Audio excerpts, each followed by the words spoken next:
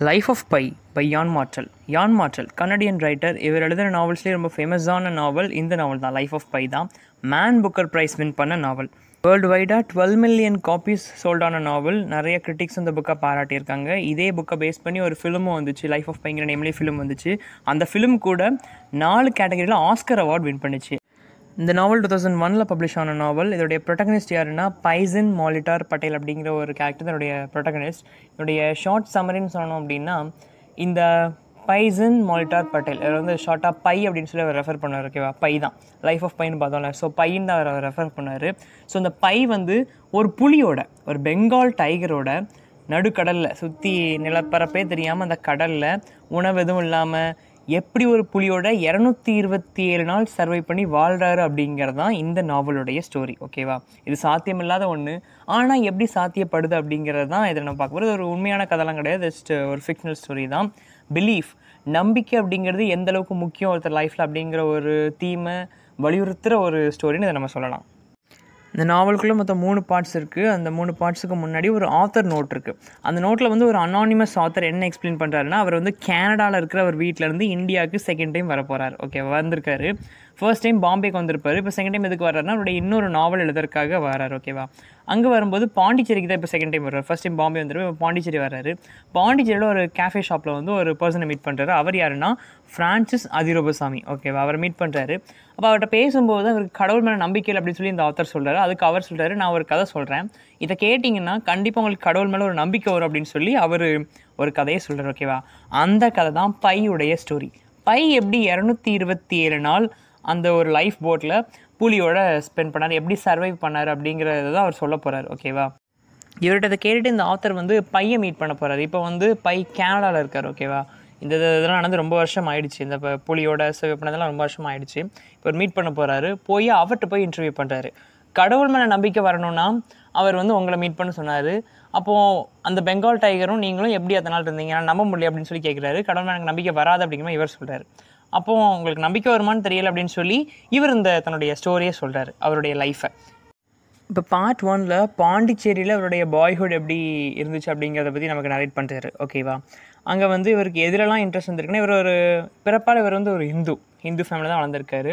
ஆனால் இவருக்கு வந்து மூன்று மதங்கள் மேலேயுமே ஒரு ஈடுபாடு இருக்குது ஓகேவா ஹிந்துவிசம் மேலேயும் கிறிஸ்டியானிட்டி மேலேயும் முஸ்லீம் இப்படி இஸ்லாம் இந்த மூணு இதுலேயுமே இவருக்கு ஒரு பெரிய இன்ட்ரெஸ்ட் இருக்குது மூணு மதத்துமே ஃபாலோ பண்ணியிருக்காரு. மூணு மதத்துடைய கொள்கையிலுமே அப்படி வாசிச்சு அது இதுன்னு எல்லாம் அந்த மூணு மதத்து மேலுமே ஒரு இன்வால்மெண்ட் இருந்திருக்கு.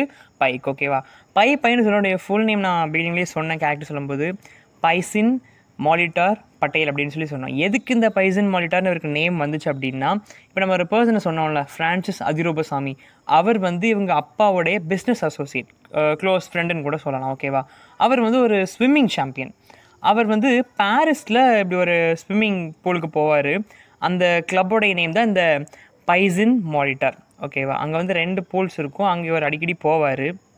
ஸோ அவருக்கு ஸ்விம்மிங் மேலே இருந்த ஒரு இன்ட்ரெஸ்ட்டை காட்டி தான் இப்படி ஒரு வித்தியாசமான ஒரு அன்யூஷுவலான நேமை இவருக்கு பைக்கு வைக்கிறார். ஓகேவா அந்த பேர்னாலே வந்து ஸ்கூலெல்லாம் ரொம்ப பையை கலாய்ப்பாங்க. ஸோ அதனால் ஷார்ட்டாக பை அப்படின்னு சொல்லி ஷார்ட் நேம் அப்படின்னு சொல்லி வச்சுருப்பாரு. பைசின் மாலிட்டார் ஓகேவா ஸோ ஷார்ட்டாக பையனை ரெஃபர் பண்ணலாம். அது மட்டும் இல்லாமல் இந்த ஃப்ரான்ஸ் அதிரூபசாமி தான் பைக்கு ஸ்விம்மிங்கும் நல்லா சொல்லி கொடுத்துருப்பாரு. அவர் ஸ்விம்மிங் சாம்பியன் இல்லையா? ஸோ பைக்குமே நல்லா ஸ்விம்மிங்லாம் சொல்லி கொடுத்துருப்பாரு. பையுடைய அப்பா வந்து அங்கே ஒரு ஜூவில் நடத்திட்டு இருப்பார். அந்த ஜூவில் நிறைய வைல்ட் அனிமல்ஸ்லாம் இருக்கும். அதில் ஒன்று தான் ரிச்சர்ட் பார்க்கர் அப்படிங்கிற ஒரு பெங்கால் டைகர் ஓகேவா இவங்க அப்பா வந்து எப்படின்னா இந்த இவருடைய தம்பி பையுடைய தம்பி ரவி ரெண்டு பேருக்குமே வந்து மிருகங்கள்லாம் எவ்வளோ டேஞ்சரானது. அதுங்களை எப்போவுமே நம்பக்கூடாது. ரொம்ப வைல்டான குணம் உள்ளது. வயல் எலிமெண்ட்ஸ்னால் அப்படி தானே அதுங்க என்ன? நம்ம மனுஷனை பார்க்கவா போகுது ஸோ அந்த மாதிரி எல்லாமே சின்ன வயசுலேயே ரொம்ப சொல்லி கொடுத்து வளர்த்துருப்பாரு எப்படின்னா ஒரு தடவை ஒரு கூண்டுக்குள்ளே ரிச்சர்ட் பார்க்கர் இருக்கும். அதுக்கிட்ட வந்து ஒரு உயிரோடு இருக்கிற ஒரு ஆட்டை உள்ளே அனுப்பி விட்ருவார் அனுப்பி அது எப்படி அதை கடித்து சாப்பிடுது அப்படிங்கிறத தன்னுடைய பசங்களுக்கு காட்டுவார். காட்டி மிருகங்கள் எல்லாமே வந்து ரொம்ப டேஞ்சரஸ் ஆனது. இந்த வைல்ட் அனிமல்ஸ் ரொம்ப டேஞ்சரஸ் ஆனது. அதுங்கிட்ட நம்ம என்ன பண்ணிக்கூடாது? எதுவும் வச்சிடக்கூடாது. கவனமாக இருக்கணும் அப்படின்னு சொல்லி அந்த ரெண்டு பசங்களும் காட்டுவார். இப்படி மிருகங்களுக்கு எப்படி ஃபீட் பண்ணணும்? அதுங்கிட்ட எப்படி நடந்துக்கணும்? அந்த மாதிரி விஷயங்களை சின்ன வயசுலேருந்தே ரொம்ப சொல்லி கொடுத்து வளர்த்தவர் தான் பையுடைய அப்பா. ஓகேவா ஸோ அப்போலேருந்தே பையக்கு வந்து ரிச்சர்ட் பார்க்கர் மேலே ஒரு பயம் இருக்குது அது அந்த ஆடை வேறு கொண்டு சாப்பிடதான் பார்த்தால ஸோ அதுலேருந்தே ரிச்சர்ட் பார்க்கர் மேலே பையக்கு ஒரு பயம் இருக்குது ஓகேவா அவருமே வந்து எப்படி எப்படி மிருகங்களுக்கு நடந்துக்கணும் அப்படின்னு தான் சொல்லி கொடுத்து தான் வளர்த்துருக்காரு. டேஞ்சரஸான அனிமல்ஸ் நம்ம எப்படி இருக்கணும் அப்படின்னு சொல்லி கொடுத்து தான் அவரும் வளர்த்துருக்காரு. இப்படி போயிட்டு இருக்கும்போது திடீர்னு நைன்டீன் செவன்ட்டி செவனில் இந்தியாவில் வந்து நிதி நெருக்கடி நிலை ஏற்படும். அதனால் நிறைய மக்களுடைய பொழப்பு இதாகிற மாதிரி ஆகும். அப்போ பையோட அப்போ முடிவு பண்ணுவார் நம்ம இங்கே இருக்கிறது சேஃப் இல்லை நம்ம எல்லா மிருகங்களையும் ஏற்றிட்டு இங்கேருந்து போயிடுவோம் போய் கனடாவில் போய் செட்டில் ஆயிடுவோம் அங்கே போய் வேணால் ஜூ நடத்திக்கலாம் அப்படின்னு சொல்லி அவர் பிளான் பண்ணுவார். பட் அவங்க பையோடைய அம்மாக்கும் பையக்கும் அவருடைய பிரதருக்குமே வந்து ஒரு இன்ட்ரெஸ்ட் இருக்காது. இருந்தாலும் சரின்னு சொல்லிட்டு அங்கேருந்து மொத்தமாக எல்லாரும் கிளம்பிடுவாங்க. ஒரு கார்கோ ஷிப்பில் ஜாப்பனீஸ் கார்கோ ஷிப்பில் எல்லா மிருகங்களையும் எதிரி இந்த நாலு பேரும் போவாங்க. ஓகேவா இதோட பார்ட் ஒன் எண்ட் ஆகுது. எல்லா ஜூ அனிமல்ஸையும் ஏற்றிட்டு அந்த கார்கோ ஷிப்பில் போயிட்டுருக்காங்க நடுக்கடலில் போயிட்டுருக்காங்க. இதோட பார்ட் ஒன் எண்ட் ஆகுது தென் பார்ட் டூவில் பார்ட் டூ ஆரம்பிக்கும் போதே அந்த ஷிப் வந்து மூழ்க ஆரம்பிச்சிருது. ஒரு பெரிய புயல் அடிக்குது. அந்த புயலில் மாடி அந்த ஷிப் வந்து மூழ்கிட்டு இருக்கு அப்போது அந்த ஷிப்பில் ஷிப்பில் இருக்கிற ஆட்கள்லாம் வேக வேகமாக பையங்கிறது வரான். அப்படியே ஷிப் மூழ்கிட்டு இருக்கு அப்போ பையன் வந்து ஒரு லைஃப் போட்டில் தூக்கி போட்டு த கடலில் தள்ளி விட்றாங்க. நல்லா பெரிய பெரிய அலைகள் அடிச்சிட்ருக்கு அப்போ அந்த பையன் அந்த லைஃப் போட்டில் இருக்கான். அப்போ மிருகங்களுமே அந்த ஷிப்பில் தானே வந்துச்சு. அதுங்களும் அப்படியே கடலில் மிதந்துட்டு அப்போது பெங்கால் டைகர் இந்த ரிச்சர்ட் பார்க்கர் வந்து மிதந்து வருது. இவன் முதல்ல என்ன பண்ணுறான் ஒரு துடுப்பை வச்சு அதை பிடிச்சி ஹெல்ப் பண்ண பார்க்க அப்புறம் தான் புரிஞ்சுக்கிறான் அது எப்படிப்பட்ட ஒரு மிருகம்? சாதாரண மிருகமாக இவனையே சாப்பிட்ரும் ஸோ பயந்து இவன் தண்ணிக்குள்ளே குதிச்சிடறான் குதிச்சுட்டு அப்படியே கொஞ்சம் கொஞ்சம் நே- இதாகுது அப்புறம் ரிச்சர்ட் பார்க்கர் அந்த இதில் இருக்கிறது இவனுக்கு தெரியல. ஸோ இவன் அந்த லைஃப் போட்டில் ஏறிக்கிறான். அடுத்து காலையில் ஆயிடுது. காலையில் ஆகி பார்த்தா அந்த லைஃப் போட்டில் மற்ற மிருகங்கள்லாம் இருக்குது என்ன மிருகங்கள்லாம் இருக்குது அப்படின்னா ஒரு ஜீப்ரா இருக்குது ஒரு ஒராங்குட்டான் இருக்குது ஒரு ஹைனா இருக்குது ஓகேவா இந்த லைஃப் போட் எப்படி இருக்கும் அப்படின்னா ஒரு பாதி ஒரு கால்வாசி இதுக்கு வந்து ஒரு ட்ராப்லைன் போட்டு மறைச்சிருந்த மாதிரி இருக்கும். ஓகே அதுக்குள்ளே வந்து அந்த லைஃப் போட்டில் இந்த இந்த மாதிரி இதில் இப்படி மாட்டிக்கிட்டால் சாப்பிட்ற சாப்பாடு தண்ணி அந்த மாதிரி இதெல்லாம் அதுக்குள்ளே இருக்கும். ஓகேவா ஸோ பாதி இது மறைஞ்சிருக்கும். பாதி இதில் வந்து இப்போ ஒரு சைடு ஜீப்ரா இருக்குது ஒரங்குட்டான் இருக்குது ஹைனா இருக்குது இப்போ பையும் இருக்கான். பையக்கு வந்து ஒரு விஷயம் தெரியாது. அந்த ட்ராப்லினுக்கு கீழே வந்து ரிச்சர்ட் பார்க்கர் இருக்குது ஓகேவா இவன் வந்து அது இல்லைன்னு நினச்சி ஏறி இருப்பான் தண்ணிக்குள்ளே குதிச்சிருப்பான் ரிச்சர்ட் பார்க்கர் ஏறினோடனே இவன் தண்ணிக்குள்ளே குதிச்சிருப்பான். அது இல்லைன்னு நினச்சி தான் இவன் மறுபடியும் அந்த லைஃப் போட்டில் ஏறி இருப்பான் ஜீப்ரா வரங்குட்டன் தானே இருக்குது ஹைனா தானே இருக்குது அப்படின்னு சொல்லி ஏறி இருப்பான் ஆனால் ரிச்சர்ட் பார்க்கர் அது கீழே மறைஞ்சிருக்கும். இப்போ இந்த ஹைனா என்ன பண்ணும் அப்படின்னா இந்த ஒரங்குட்டனை முதல்ல கொண்டுரும் ஒரங்குட்டனை கொண்டு தென் ஜீப்ராவையும் கொண்டுரும் அதுக்கு பிறகு பைய கொல்ல வரும். அப்போ தான் ரிச்சர்ட் பார்க்கர் அந்த ட்ராப்லின்லேருந்து வெளியே வந்து ஹைனாவை சாப்பிட்ரும் ஓகேவா சாப்பிட்ட பிறகு இப்போ ரிஜெக்ட் பார்க்க அடுத்து இவனை தான் குறிக்கும் ஸோ அவன் என்ன பண்ணுவான்னா ஒரு ராஃப்ட் ரெடி பண்ணுவான். ஒரு ராஃப்ட் ரெடி பண்ணி அந்த லைஃப் போட்லேருந்து கொஞ்சம் ஒரு கைத்தை கட்டி அந்த ராஃப்ட்டில் தனியாக ஒரு நாலஞ்சு கட்டை இதெல்லாம் வச்சு கட்டி இவன் தனியாக இருப்பான். கொஞ்சம் அந்த போட்லேருந்து தள்ளி ஒரு கைத்தை கட்டி இவன் இருப்பான். பைக்கு வந்து இப்போ ஒரு விஷயம் நல்லா புரிஞ்சிடும். என்னென்னா இப்போ அந்த லைஃப் போட்டுக்குள்ளே ஏறினா இப்போதைக்கு அது வந்து பசியில் இருக்கும். இல்லையா? ரிச்சார்ட் ரிச்சர்ட் பார்க்கர் பசியில் இருக்கும் ஸோ இவனை சாப்பிட்ருவோம் ஸோ இப்போ உயிர் வாழ ஒரே வழி ரிச்சர்ட் பார்க்கருக்கும் உணவு கொடுக்கணும் நமக்கும் சாப்பாடு வேணும். தண்ணி சாப்பாடு இருந்தால் தான் ரெண்டு பேருமே உயிர் வாழ முடியும். அதுவும் ஒன்றும் எதுவும் பண்ணிடக்கூடாது. அது எதுவும் பண்ணக்கூடாதுன்னா அதுக்கு தேவையான உணவை அது கொடுக்கணும். இவன் சாப்பிடணும் இவனும் எதிர்மா ஸோ இந்த ரெண்டை தான் அவன் பார்க்கணும்னு யோசிக்கிறான். அப்போ அதை ட்ரெயின் பண்ணணும்.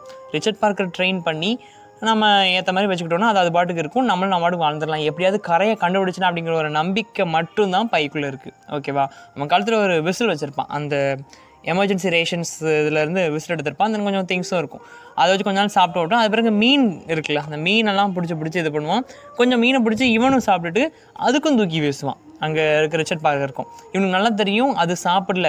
ஃப்ளஷ் அதை சாப்பிடல அப்படின்னாலே இவனை சாப்பிட்ரும் இல்லையா? ஸோ அதுக்கு தான் சாப்பாடு கண்டிப்பாக கொடுக்கணும்னு சொல்லிட்டு இவன் ரெண்டு மீன் எடுக்கிறான்னா அதுக்கும் ரெண்டு மீனை தூக்கி வீசுறான். அதுவும் சாப்பிட்டு சாப்பிட்டு இருக்குது அதுக்கு தேவையான உணவையும் கொடுக்குறான். இவனுக்கு தேவையானதையும் சாப்பிட்டுட்டு இருக்கான். ஆனால் எத்தனை நாளைக்கு தான் இதையே சாப்பிட்டு இருக்கிறது அப்படின்னு சொல்லி பல இடம் அந்த இது அது பாட்டுக்கு மேந்து மேந்து போகுது. அதான் கரையை பார்க்குற மாதிரியே இல்லை. ஒரு பெரிய ஷிப் போதும் ஆனால் அந்த ஷிப்புக்கு என்ன சத்தம் போட்டாலும் கேட்காதுல இது வந்து ஒரு சின்ன லைஃப் போர்டு தானே. அந்த ஷிப்பும் கண்டுக்காமல் போயிடுது. ஸோ ரிச்சர்ட் பார்க்கும் கொடுத்துக்கிட்டு இவனும் சாப்பிட்டுக்கிட்டு அவன் பாட்டுக்கு இப்படியே தான் லைஃப் போய்கிட்டே இருக்குது ஸோ பையக்கு வந்து நார்மலாக கிடைக்கிற அந்த சாப்பாடெலாம் கிடைக்கல. ஸோ அதனால் வந்து ரொம்ப ஒரு மாதிரி வெக்ஸ்டாகி தான் பை இருக்கான். அப்போ இன்னொரு லைஃப் போட் வருது. அதில் ஒரு ஃப்ரெஞ்ச் மேன் வரான் ஓகேவா அவனுமே ரொம்ப பசியில் வரான். இவனுக்காவது இந்த இதெல்லாம் மீனெல்லாம் கிடைக்குது? அவனுக்கு அதுவும் கிடைக்காம அவன் வரான். அப்போ வந்து இப்போ பையக்கும் ரிச்சர்ட் பார்க்கருமே வந்து ஒரு நல்ல ஒரு இது உறவு வந்துருச்சு. ஏன்னா அவனால் அதை மாஸ்டர் பண்ண ஆரம்பிச்சு நல்லா ட்ரெயின் பண்ண ஆரம்பிச்சிட்டான். ஒரு விசில் வச்சிருப்பான் அந்த ஊதி அப்படி இப்படின்னு அவன் அதை கண்ட்ரோல் பண்ணி இவன் அந்த லைஃப் போர்டுக்கு வந்தானே இப்போ வந்து ரிச்சர்ட் பார்க்கர் அவனை ஒன்றும் பண்ணாது. அவன் அந்த தனியாக தான் இருப்பான். இப்போ இந்த லைஃப் போர்டுக்கு வந்தாலும் அவன் ஒன்றும் பண்ணாது. ஏன்னா அவன் பிளான் பண்ண மாதிரியே கொஞ்சம் இது அதுக்கும் கொடுத்துட்டு இவனும் சாப்பிட்டுக்கிட்டு அப்படி அது லைஃப் போயிட்டுருக்கு. அப்போ இன்னொரு லைஃப் போர்டு வருது. அப்போ இன்னொரு லைஃப் போர்டு வந்து இப்படி கிட்ட வரும்போது இவனும் பேசுகிறான் எப்படியோ. ஏன்னா அந்த ஆளுக்கு ஒரு சந்தோஷம். ரொம்ப நாள் கழிச்சு இந்த நடுக்கடலில் ஒரு மனுஷனை ஏன்னா அவனும் இப்படி மாட்டிகிட்டு இருக்கான். ஸோ அவனும் இந்த சைடு இந்த வேகமாக அந்த போட்டுக்கிட்ட வர ரெண்டு போட்டு இடிக்குது இடிச்ச உடனே வேகமாக அவன் பையுடைய லைஃப் போர்டில் குதிச்சுட்டு பையன் அட்டாக் பண்ணுறான் அட்டாக் பண்ணி பையை சாப்பிட வரான். எதுக்குன்னா அவன் அந்தளவு பசியில் இருக்கான். கொலை பசியில் இருக்கான். ஸோ கொன்று தின்னுடலாம் மனுஷனே தின்னுடலாம் அப்படிங்கிற அளவுக்கு அவன் பசியில் இருக்கான். ஸோ இப்படி அவன் அட்டாக் பண்ண வரும்போது அவன்கிட்டருந்து பையை காப்பாற்றுறது ரிச்சர்ட் பார்க்கர். ரிச்சர்ட் பார்க்கர் அவனை கொன்னுடுது. ஓகேவா கொன்று பையை காப்பாற்றிடுது இப்போ இப்படியே போயிட்டு இருக்கும்போது இந்த லைஃப் போட் வந்து ஒரு தீவு கிட்ட போய் கரை ஒதுங்குது. ஓகேவா அந்த தீவில் வந்து மண்ணே தெரியலை. முழுக்க பாசியாக தான் இருக்குது ஆல்கேவாக தான் இருக்குது அந்த தீவு முழுக்க பாசி பிடிச்சி போய் நிறைய மரங்கள் அடர்த்தியான மரங்கள் அப்படியே உள்ளே பார்த்தா முழுக்க மரங்களாக தான் இருக்குது வித்தியாசம் இருக்குது அந்த தீவு பார்க்கவே. அது வந்து ஆள் அரவமே இல்லாத ஒரு தீவாக இருக்குது சரி ஒரு தீவையாவது பார்த்தோம்னு சொல்லி பை வேகமாக இறங்கி போகிறேன் ரிச்சர்ட் பார்க்கரும் கூடயே போகுது. அப்போ அந்த தீவில் வந்து மோஸ்ட்லி என்ன மிருகம் தான் இருக்குன்னா மீர் கேட் அப்படிங்கிற ஒரு மிருகம் தான் இருக்குது அதை நீங்கள் கூகுள் பண்ணி பார்த்தா உங்களுக்கு தெரியும். அந்த மூவி பார்த்தா மூவியில் கூட அது கிளியராக காட்டியிருப்பேன் அந்த மிருகம் அப்படி இருக்கும்னு. ஸோ இப்படி மீர் கேட்னா அந்த மிருகங்கள் மட்டும்தான் எங்கே பார்த்தாலும் இருக்குது அங்கே போன உடனே ஒரு பூல் ஒரு குளம் மாதிரி இருக்குது அந்த குளத்துல போய் பை வளர்ந்து குதிக்கிறான். குதிச்சு நல்லா நல்லா குளிக்கான் ஏன்னா ரொம்ப நாள் அந்த கடல் தண்ணியிலே தான் அது இருக்கான். ஸோ நல்லா குளிக்கிறான் குளிச்சுட்டு தண்ணி நல்ல தண்ணி எடுத்து வச்சுக்கிறான். எடுத்துட்டு அங்கேயே ஒரு ரெண்டு மூணு கொஞ்ச நாள் டைம் ஸ்பெண்ட் பண்ணுறாங்க மனுஷனே வராத இடம் மாதிரி இருக்குது ஸோ பையக்கு வந்து ஒரு டவுட் இருந்துகிட்டே இருக்குது இது வந்து இந்த தீவே ஒரு வித்தியாசமாக இருக்கிற ஒரு மாதிரி பயங்கரமான ஒரு ஃபீல் கொடுக்குது அப்படின்னு சொல்லி யோசிச்சுட்டு இருக்கேன் அப்போ ஒரு நாள் நைட்டு வந்து அந்த தீவில் இருக்கிற ஒரு மரத்துலேருந்து ஒரு பழத்தை பார்க்குறான் அந்த பழத்துக்குள்ளே ஒரு மனுஷனுடைய பல் இருக்குது ஓகே ஒரு பழத்துக்குள்ளே மனுஷனுடைய பல் இருக்குது அந்த பல்லை பார்த்ததுமே பைவனை கண்டுபிடிச்சா அந்த தீவு வந்து மனுஷனையே சாப்பிட்டுக்கிட்டு இருக்கு. இது ஒரு கார்னிவோரஸ் ஐலாண்ட் அப்படின்னு சொல்லி கண்டுபிடிச்சா கண்டுபிடிச்சி மறுநாள் காலையிலேயே அங்கேருந்து கிளம்பிடுறான். இப்போ ரிச்சர்ட் பார்க்கரோட கிளம்பிடுறான். அப்புறம் அந்த லைஃப் போட் அப்படியே ஒரு மெக்சிக்கன் பீச் பக்கம் கரை ஒதுங்குது. அங்கே போய் அந்த பீச்சை பார்த்த உடனே பை அப்படியே நடக்க முடியாமல் நடந்து போய் கரையில் விழுந்துடுறான் ரிச்சர்ட் பார்க்கர் அந்த லைஃப் போட்லேருந்து இறங்கி பையை பார்த்துட்டு அப்படியே வேகமாக பக்கத்தில் காடு அந்த காட்டுக்குள்ளே வந்து ஓடிடுது. அடுத்து அங்கே இருக்கிற வில்லேஜஸ் வேகமாக வந்து இவனை பார்க்குறாங்க பார்த்து ஹாஸ்பிட்டல் தூக்கிட்டு போகிறாங்க இதோட பார்ட் டூ எண்ட் ஆகுது. தென் பார்ட் த்ரீல பை ஹாஸ்பிட்டல் அட்மிட் பண்ணியாச்சு. அந்த ஹாஸ்பிட்டலுக்கு ஒரு ரெண்டு ஜாப்பனீஸ் அஃபீஷியல்ஸ் வந்திருக்காங்க. அவங்க எதுக்கு வந்திருக்காங்கன்னா அந்த ஜாப்பனீஸ் கார்கோ ஷிப் மூழ்கிடுச்சுல. அதில் தப்பிச்ச ஒரே ஆள் பை தான்.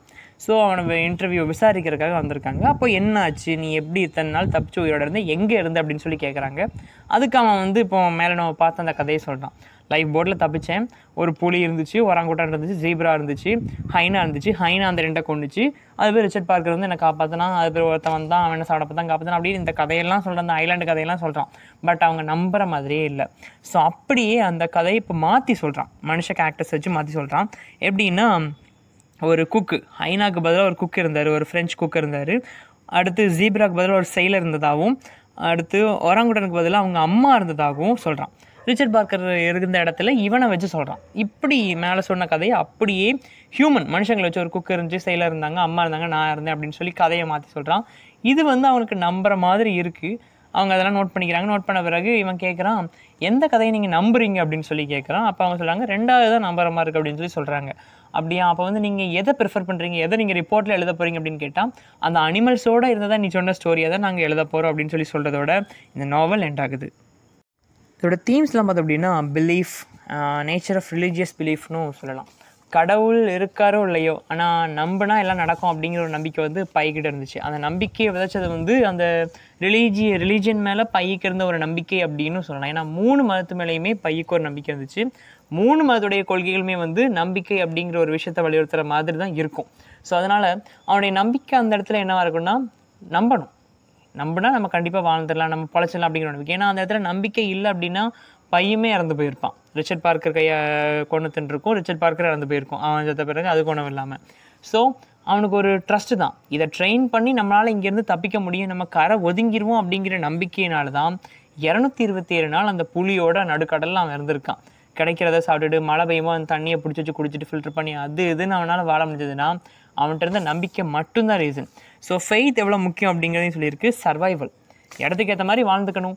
இது இப்படி தான் வாழணும் அப்படின்னா அந்த லைஃப்பையும் அக்செப்ட் பண்ணி வாழணும் அப்படிங்கிறதையுமே இது ஒரு தீமாக சொல்லுது.